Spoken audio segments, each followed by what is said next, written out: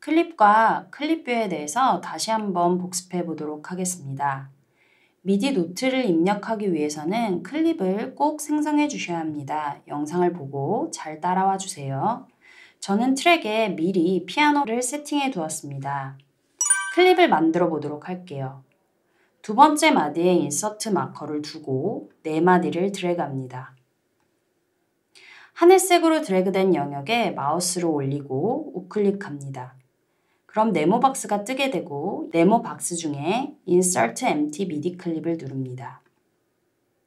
미디 클립이 만들어지고 메인 화면의 아래에 clip view가 보이게 됩니다.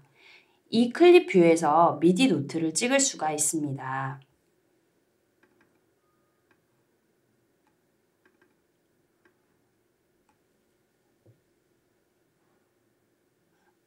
클립뷰를 보면 이렇게 피아노 롤이 보입니다.